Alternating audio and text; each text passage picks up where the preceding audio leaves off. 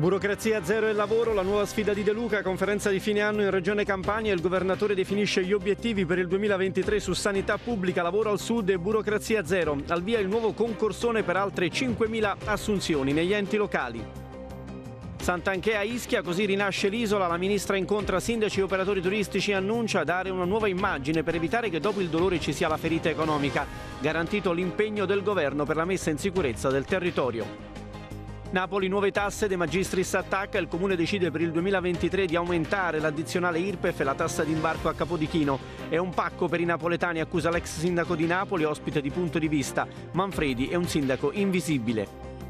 Operaio morto in Umbria, dolore in Valle Caudina, sarà lutto cittadino a San Martino Valle Caudina nel giorno dei funerali di Carlo Clemente, l'operaio di 36 anni, deceduto sul lavoro in provincia di Terni. Intanto il sindacato accusa basta morti bianche. Niente numero chiuso, scatta il piano sicurezza, Salerno si prepara al concerto di Capodanno che vedrà esibirsi Negramaro in piazzamento, in prefettura dietro front sulle restrizioni, ma il comandante provinciale dei carabinieri assicura ci saranno serrati controlli. Benevento caos al San Pio, l'allarme dei medici dal vicepresidente dell'ordine Milano, nuovo appello ai cittadini a usare la mascherina e a sottoporsi ai vaccini per proteggersi da influenza e Covid. SOS alle istituzioni, servono investimenti sul personale. Questi titoli di oggi, ben ritrovati con l'informazione di 8 Channel News. In apertura, conferenza di fine anno in Regione Campania del governatore De Luca che lancia tre grandi sfide per il 2023 su sanità pubblica, lavoro al sud e burocrazia zero e già nelle prossime settimane parte il nuovo concorsone per altre 5.000 assunzioni. Da Napoli ci racconta tutto Rossella Strianese. Sì, buon pomeriggio. Noi ci troviamo a Napoli davanti alla sede della Regione Campania dove questa mattina si è tenuta la conferenza stampa di fine anno del governatore De Luca. Governatore che ha aperto eh, rivendicando due grandi risultati politici per questo 2022. Uno che riguarda l'autonomia differenziata e il dialogo che si è aperto con il ministro Calderoli per la pregiudiziale che ha imposto la Regione Campania sui LEP, l'approvazione dei livelli essenziali di prestazione e l'altro eh, eh, sul fondo sanitario nazionale, la ripartizione dei soldi per la sanità eh, finalmente ha detto De Luca dopo dieci anni di battaglie siamo riusciti ad ottenere nuovi criteri per la ripartizione eh, delle risorse alle regioni.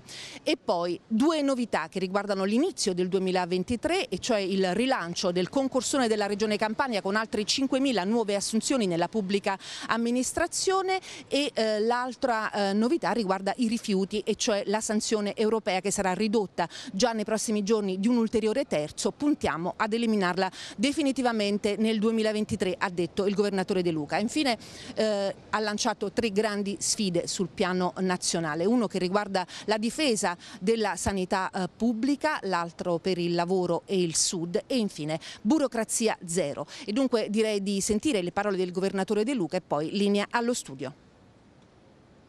Lanceremo tre grandi battaglie nazionali difesa della sanità pubblica perché è chiaramente messa in discussione. Se non ci sono risorse, non c'è personale, è evidente che si sta lavorando per introdurre un'altra sanità anche in Italia, fatta di assicurazioni e di cose che non aiutano la povera gente. E poi ovviamente dovremo fare una battaglia per il Sud, per il lavoro, la seconda grande battaglia che lanceremo, una sfida al governo, un piano per il lavoro per i giovani meridionali 300.000 giovani da mandare nella pubblica amministrazione. E poi una sburocratizzazione radicale di questo Paese. Queste tre grandi sfide possono aiutarci a mantenere l'unità nazionale ma anche a difendere i grandi servizi di civiltà. E per quello che ci riguarda al sud e in Campania a bloccare l'emorragia di giovani che è diventata davvero intollerabile abbiamo perso nel sud negli ultimi dieci anni un milione e mezzo di giovani e il 40% di quelli che se ne vanno sono giovani laureati. Cambiamo argomento, il ministro del turismo Daniela Santanchea ad Ischia lancia la campagna di comunicazione per non perdere l'indotto turismo. Vediamo. Vedete qua c'è l'Italia, hashtag This is Ischia Una campagna di comunicazione internazionale per evitare il crack turistico ad Ischia. L'ha annunciata e presentata il ministro Daniela Santanché in visita sull'Isola Verde a confronto con i sindaci dei sei comuni e operatori del settore. Il primo scatto lo farò io oggi, partirà il primo scatto della campagna hashtag This Ischia perché vogliamo fare capire che Ischia è viva che Ischia si può venire e ci sono quello che c'è sempre stato. Foto dei volontari, degli isolani, degli operatori del comparto per mostrare ogni giorno lo stato quotidiano del piccolo angolo di Paradiso Campano, perché spiega Sant'Anché a livello internazionale la comunicazione trasferita è quella di una intera isola distrutta dal fango. Ma non solo, immagini attuali dell'isola e delle sue bellezze verranno affisse negli aeroporti internazionali, così da non perdere importanti segmenti di mercato. Perché se guardiamo i dati anche di questo questo Natale. Rispetto all'anno scorso abbiamo la metà delle strutture ricettive aperte. Il ministro rilancia il distretto turistico come strumento essenziale per la ripresa. Quindi io voglio rassicurare tutti che il governo farà la sua parte, ma dobbiamo guardare al domani, dobbiamo concentrarci per far sì che si riparte alla grande e lasciatemi dire forse anche meglio. Dopo il via libera della giunta Manfredi per l'aumento delle tasse a Napoli scoppia la polemica, l'ex sindaco De Magistris, ospite a punto di vista, lancia dure accuse. Vediamo. Un 2023 carico, carico di tasse, IRPEF e tassa d'imbarco dal nuovo anno a Napoli saranno più care. La maggioranza del sindaco Gaetano Manfredi ha approvato l'aumento dello 0,1% per l'addizionale IRPEF e 2 euro in più per la tassa d'imbarco. E come se non bastasse, Manfredi ha fatto intendere che aumenterà anche la tassa di soggiorno. Rincari che fanno scattare le polemiche. Il pacco per Napoli è questa l'accusa che lancia l'ex sindaco di Napoli Luigi De Magistris. Durante la campagna elettorale elettorale viene indicato pubblicamente il patto per Napoli, se vincerà Manfredi il governo manderà i soldi alla città di Napoli e così è stato. Sono arrivato Draghi, ha firmato il patto, sono arrivati con le valigie di soldi per le casse di Palazzo San Giacomo. Manfredi governa ormai da circa un anno e mezzo, i servizi sono addirittura peggiorati con tutti i soldi che hanno avuto, si sono triplicati gli stipendi e oggi ha approvato il bilancio, anzi ieri in Consiglio Comunale di Napoli scopriamo che come vanno a rimborsare il pacco per Napoli a questo punto, non più il patto per Napoli, con nuove imposte e nuove gabelle. Io trovo scandaloso che sanno da oltre un anno con le casse piene di soldi al Comune di Napoli e non si riesce nemmeno a garantire l'ordinaria amministrazione, se non ricordiamo lo stipendio triplicato a sindaco e assessori.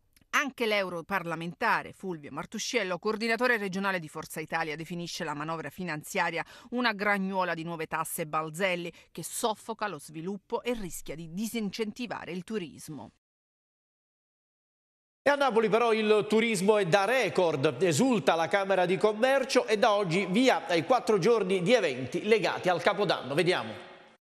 Prendono ufficialmente il via i quattro giorni di festa per il Capodanno a Napoli. Dal 29 dicembre al 1 gennaio, musica protagonista con tanti ospiti. Per la città si prevede una vera e propria invasione di turisti, strutture ricettive piene e boom di presenze. Per il presidente della Camera di Commercio, Ciro Fiola, ora è tempo di estendere non solo al centro storico, ma anche agli altri quartieri di Napoli le opportunità legate al turismo la città è piena di turisti e pare anche le prime due settimane di gennaio sono completamente piene. Io dico che dobbiamo coprire l'altra parte destagionalizzata che va da gennaio a marzo, in modo da fare un anno pieno, ma in più dobbiamo allargare la fascia della zona dove i turisti possono andare, perché questa forza dei turisti non possiamo rimanerla solo su Piazza Municipio. Allo stesso tempo, la guida dell'ente camerale stoppa le polemiche sul rincaro da 2 euro per i turisti in partenza da Capodichino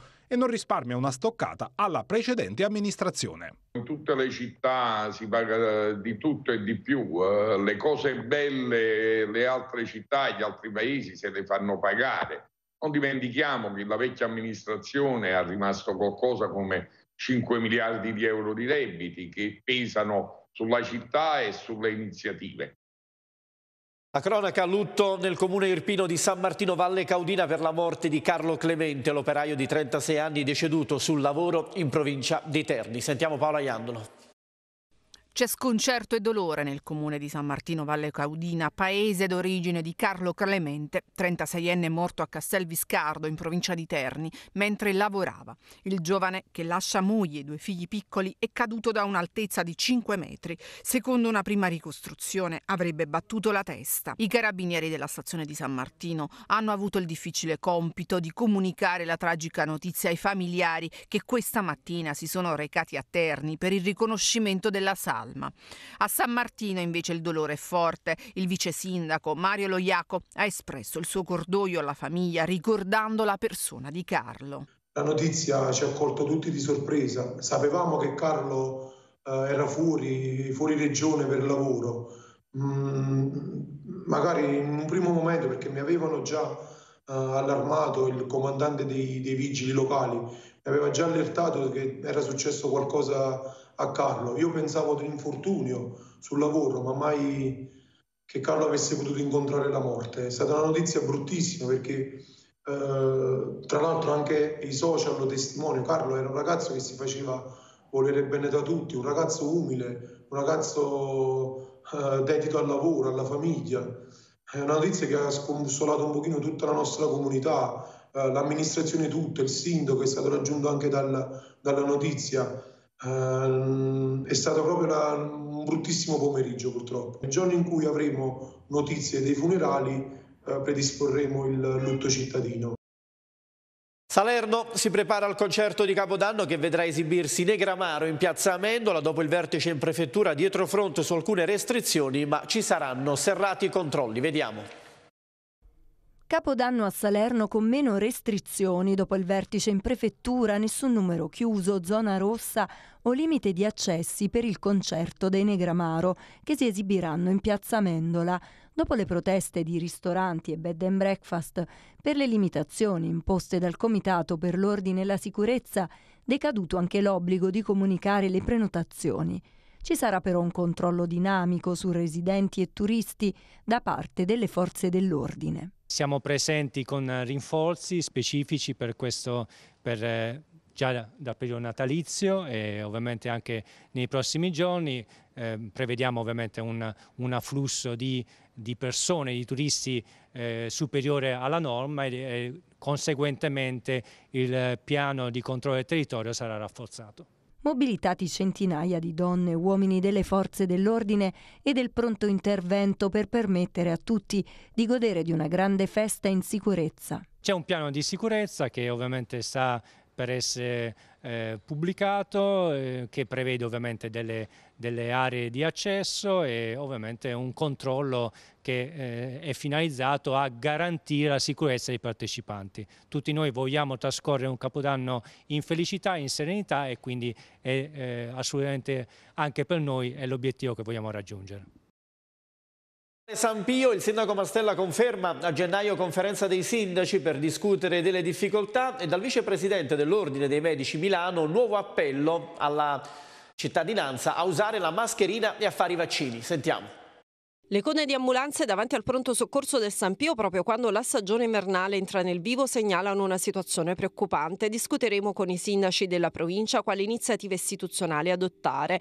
A ribadirlo il sindaco Clemente Mastella in vista della riunione con le altre fasce tricolore del Sagno programmata per la seconda decade di gennaio. Intanto dai medici di base nuovo appello a cittadini e istituzioni. Stiamo vivendo il picco massimo influenzale eh, e quindi eh, tutta la classe medica a partire da, noi medici di medicina generale e quindi eh, anche i colleghi ospedalieri eh, stiamo vivendo un, un, momento di massimo impegno. Un disagio è dovuto es esclusivamente alla carenza di personale, carenza di personale non solo medico. L'appello da fare è un appello sicuramente alla cittadinanza che deve cercare di proteggere se stesso e gli altri in che modo? Innanzitutto facendo la vaccinazione anti-influenzale questo naturalmente vale soprattutto per i pazienti fragili. La cittadinanza quindi deve deve cercare di portare a indossare la mascherina, lavare le mani, evitare assembramenti. Se questo è utile sicuramente non è sufficiente per poter combattere una situazione così importante, ma servono quindi anche un impegno pubblico. Difficoltà che secondo il vicepresidente dell'Ordine dei Medici richiedono una politica di investimenti per questo settore. Per cui che si eh, faccia una politica di investimenti, investimenti eh, mirati soprattutto alla, al personale, manca il personale. Ancora sanità, l'ospedale di Solofra rinascerà e sarà struttura all'avanguardia. Il sindaco Moretti respinge le polemiche sui ritardi per completare il Landolfi. Ritardi nei lavori dell'ospedale Landolfi di Solofra, che doveva essere consegnato il 31 dicembre, ma dopo le rassicurazioni del presidente De Luca sul completamento degli interventi arrivano anche quelle del primo cittadino Nicola Moretti, a margine della conferenza stampa con tutta la sua giunta dopo i primi cinque mesi di mandato. Sarà una struttura all'avanguardia con ambulatori e risonanza magnetica. La facciata principale ormai è libera dal cantiere e domani è previsto un sopralluogo con il manager dell'azienda ospedaliera Pizzuti per scandire i prossimi passi dei lavori stiamo seguendo attentamente, quotidianamente, l'iter eh, dei lavori. Un cronoprogramma che mm, comunque era sulla carta, pare che l'80% è stato rispettato. Ieri mattina sono stato con il, il dottore Pizzuti e mi ha mm, chiaramente ecco, trasmesso che già nei primi mesi di gennaio, già da gennaio, ehm, ci sarà già la prima fornitura di, di arredi sarà secondo me un ospedale che è un punto di riferimento del territorio e anche della regione, anche perché ieri Pizzuti ci ha comunicato che è riuscita ad avere il finanziamento per eh, la risonanza magnetica, un'apparecchiatura che serve, ma la notizia che a me piace molto, a un sindaco piace il territorio, che eh, a piano terra saranno ecco, lì istituiti dei, eh, degli ambulatori noi teniamo un problema serio della medicina ambulatoriale territoriale. Maglia nera per le strade salernitane tra le più pericolose d'Italia e teatro di troppi incidenti stradali. Vediamo. Le strade salernitane sono tra le più pericolose d'Italia. Il numero di incidenti, spesso purtroppo mortali, supera la media nazionale e molti sono causati dall'uso di alcol e droghe.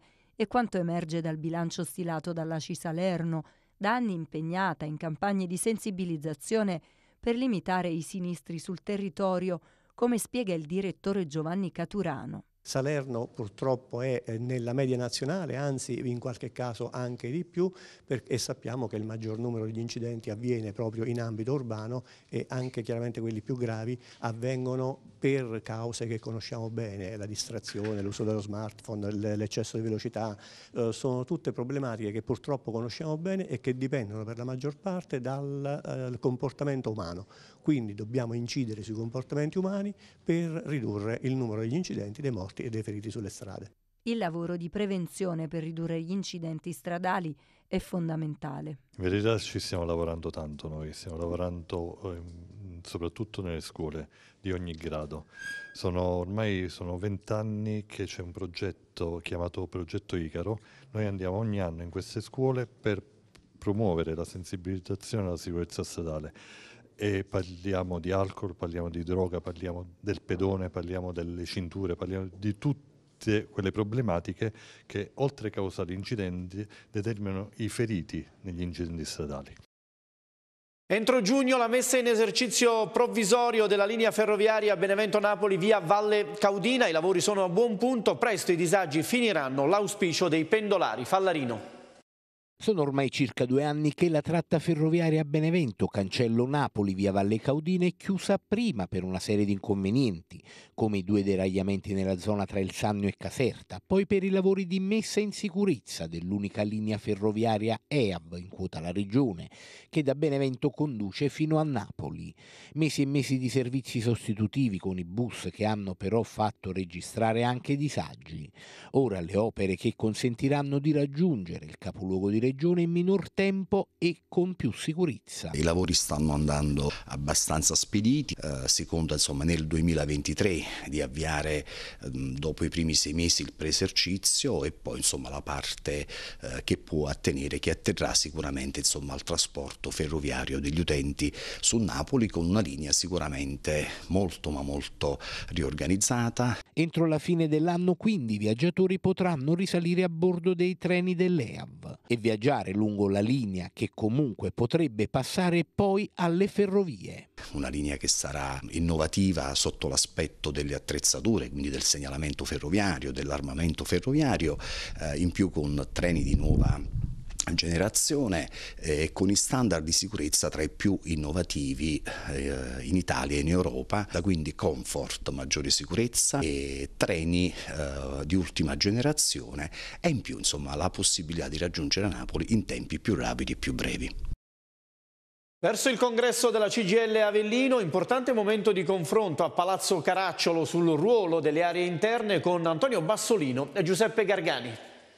Gli anni 70 in Irpinia sono i migliori anni della sua storia per la dialettica che si apre tra le forze politiche e la società civile. Ma oggi cosa resta dell'onda lunga del movimento operaio e sindacale che fece nascere anche nelle aree interne una forte domanda di partecipazione e progresso? A questa domanda si è tentato di dare una risposta nel corso del confronto promosso dalla CGL di Avellino in vista del congresso provinciale che si terrà il 9-10 gennaio. Alla discussione hanno partecipato il segretario Fiordellisi, il presidente della provincia Bonopane Antonio Bassolino e Giuseppe Gargani, coordinati da Andrea Amendola. Per l'ex europarlamentare democristiano è necessario oggi recuperare il ruolo dei partiti e dei sindacati. C'era un'idea sia dei sindacati che dei partiti di quale società volevamo, una visione quindi come oggi si dice dell'Italia, del suo rapporto con l'Europa iniziale allora e del suo rapporto con il Mezzogiorno. Il problema del Mezzogiorno era un problema centrale allora i diritti del lavoro sono stati conquistati in quel periodo e oggi vanno scemando proprio perché la politica è assente.